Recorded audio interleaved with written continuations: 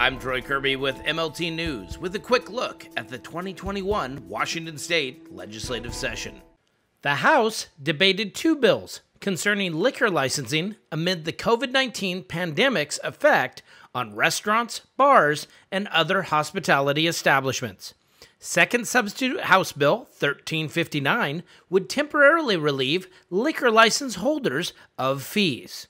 Also heard was engrossed Second Substitute House Bill 1480, which would extend curbside, takeout, and delivery of alcohol while creating an independent study of the impact of the new temporary privileges. Uh, as we all know, hospitality industries has been uh, decimated through this, and those that have survived are facing these substantial uh, uh, uh fees and license fees that, are, that come due every year. And it's a big part of their business. It's uh, when you don't have a lot coming in and you're seeing a lot go out, that has uh, that has uh, a heavy heavy weight on the uh, the bottom line. I want to be really clear about what this bill does. This bill will allow to go beer, wine, and cocktails uh, which have not been historically allowed or legal in Washington state. It will also allow beer, wine, and cocktails with hard alcohol for delivery. The intent of the bill, as stated in the intent section, is specific to supporting the hospitality industry during the pandemic.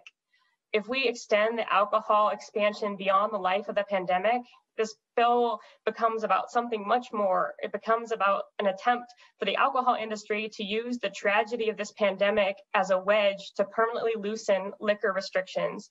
The good gentleman from the 35th and I have had many discussions about how we might best support some of our businesses that have been really struggling, not only to consider whether or not they can keep their doors open during this pandemic, but whether or not they will even have an opportunity to open again should they choose to uh, shutter to try and keep maybe the, the, the business going uh, after the pandemic and in some cases at a very reduced um, capacity. Some have been able to stay open. Now, last week we passed a bill uh, that helped with the immediate response. This bill is intended to be a, a recovery response which reduces the license fees. We know these are incredibly expensive for some of our smaller businesses um, for that period of time where they are working to recover coming out of the pandemic. Every business got hit by this global pandemic, but small businesses and especially restaurants got hit the hardest. Our restaurant owners are families. They're losing money month after month. One of my local restaurant owners told me, We're doing everything we can, but this just isn't cutting it.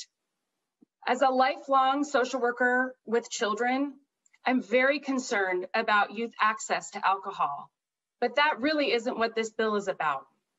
We sell alcohol in grocery stores and serve it in restaurants every day. We have safeguards against sell, selling it to children. This bill just simply allows somebody to enjoy a $10 margarita with their takeout Mexican food in a time that's really disconnected. Both bills passed the House, moving on to the Senate for consideration. Thank you for watching the Daily Legislative Report by MLT News, covering the 2021 legislative session.